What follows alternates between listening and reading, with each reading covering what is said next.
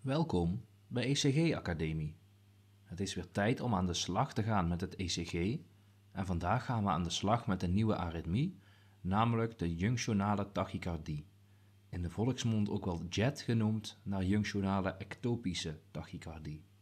Een junctionale ectopische tachycardie komt, zoals de naam al doet vermoeden, uit het AV-knoopgebied en is een tachycardie die met name kinderen treft. En dan specifiek kinderen met congenitale hartaandoeningen en kinderen die juist geopereerd zijn aan congenitale hartaandoeningen. Het mechanisme achter de jet is meest waarschijnlijk abnormale automaticiteit, maar dat ga ik zo meteen nog een beetje nuanceren. Eerst ga ik op deze afbeelding nog iets duidelijker laten zien hoe een jet precies werkt.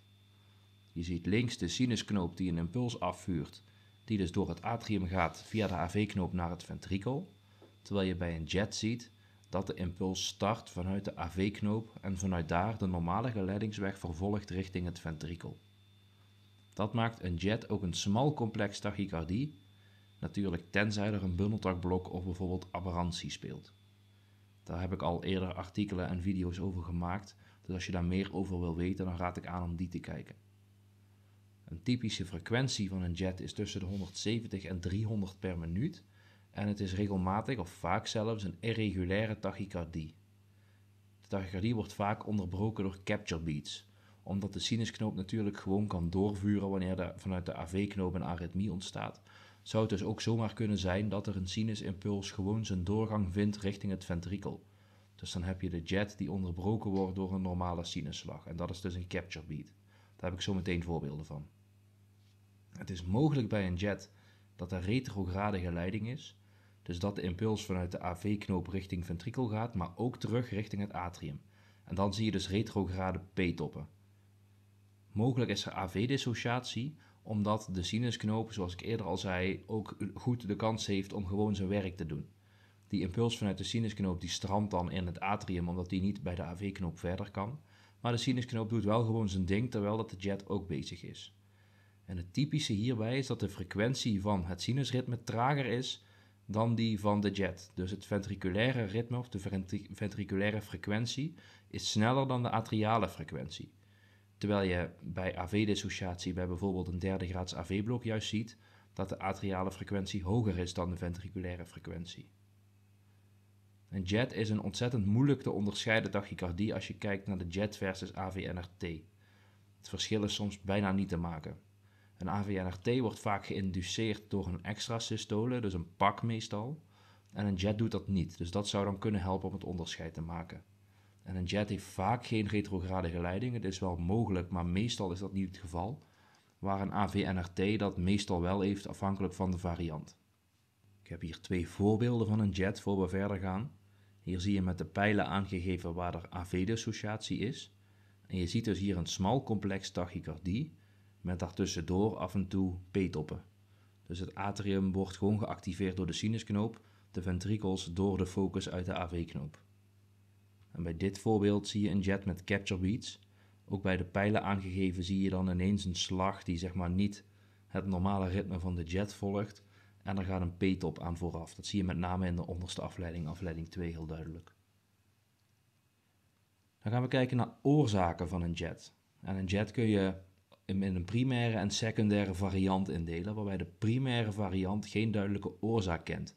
De secundaire variant heeft juist wel een duidelijke link met oorzaak, en vaak is dat ook de variant die je ziet na chirurgische correctie van een congenitale hartaandoening. Binnen 48 uur heb je dan een verhoogde kans op een jet en dat gebeurt bij ongeveer 5 tot 11 procent van de patiënten. De primaire variant is een congenitale variant die vaak kinderen treft die jonger dan 6 maanden oud zijn en heeft een frequentie van ongeveer 200 tot 250 slagen per minuut. Ook volwassenen kunnen natuurlijk een jet krijgen. Het is niet exclusief voor kinderen. Alleen een volwassene heeft daar vaak niet zoveel last van. De frequentie is wat lager en het is eigenlijk qua klachten hetzelfde als andere supraventriculaire tachycardieën. En een jet bij volwassenen zien we met name bij ischemie en infarct van het AV-knoopgebied. Je zou het kunnen zien wanneer de AV-knoop aan het herstellen is van bijvoorbeeld een derde graads blok of na een AVNRT. We zien het bij metabole ontregeling, bij digoxinegebruik en het zou ook tijdens elektrofysiologisch onderzoek getriggerd kunnen worden. Voor ik dieper inga op het mechanisme van de jet heb ik hier nog een voorbeeld. Dit is een jet met AV-dissociatie bij een zevenjarige jongen. En ik heb met rode pijlen de AV-dissociatie aangeduid. En je ziet dat er dan p-toppen voorafgaand aan de QRS-complexen zitten bij de eerste paar rode pijlen. Dan zou je denken van dat het misschien een sinusritme is. Maar als je de rode pijlen vervolgt, dan zie je dat er toch echt AV-dissociatie is. En dan blijft er dus een junctionaal uh, ritme of een jet over. Dan ga ik nog wat dieper in op het mechanisme. Ik noemde eerder dat het waarschijnlijk abnormale automaticiteit is, maar er zijn ook onderzoeken die aanwijzingen geven dat het mogelijk door getriggerde activiteit komt. Zo zijn er case reports van een jet na adenozinegebruik en na overdrive pacing. En ja, bij die situaties is het veel logischer dat het getriggerde activiteit is dan abnormale automaticiteit. Omdat dat een goede voedingsbodem is voor getriggerde activiteit. Omdat er dan dus veranderingen zijn ontstaan in de elektrische ladingen van de cellen. Ook zou er een genetische component kunnen zijn. En zoals ik al zei, zien we JET ook in een postoperatieve setting. Dan zou het meest waarschijnlijk veroorzaakt zijn door mechanisch trauma met mogelijk letsel of bloeding van de AV-knoop. Dus door de chirurg veroorzaakt. En een patiënt die dan mogelijk aan de ECLS, dus aan de ECMO van de hartlongmachine heeft gelegen, die zou dan een soort van ischemie van het AV-knoopgebied kunnen hebben. En bij de reperfusie, wanneer de patiënt weer zijn eigen circulatie heeft, zou je dan een jet kunnen zien. En er zijn daarnaast ook nog andere case reports van JET bij bijvoorbeeld de ziekte van Lyme en bij myocarditis. Maar dat zijn echt enkele case reports, er is geen duidelijke link. Dan gaan we nog kijken naar de behandeling van de JET. En het leuke is dat er regelmatig ook geen behandeling voor wordt gedaan. Dat is met name afhankelijk van hoe vaak er episoden van tachycardie zijn en hoeveel last de patiënt daarvan heeft. Maar als je dat helemaal wil wegkrijgen, dan heb je veel medicatie nodig en dat heeft vaak meer negatieve dan positieve effecten. Dus dan wordt er gekozen om niet te behandelen. Dan blijft de patiënt natuurlijk wel onder controle van een cardioloog. En ja, medicijnen die goed zijn tegen aritmie, dus antiaritmica, die hebben vaak ook weer pro-aritmische effecten. Dus hoe meer je die combineert, hoe hoger het risico op juist ernstigere aritmie is. Als er wel medicatie wordt gegeven, is dat meestal amiodaron, propranolol of flecainide. En adenosine is niet nuttig bij de patiënt met een jet, omdat dat geen re-entry circuit is. Dus adenosine onderbreekt dan niet de tachycardie. Bij een postoperatieve jet kan er magnesiumsulfaat gegeven worden en zijn er nog wat andere medicijnen die gegeven worden.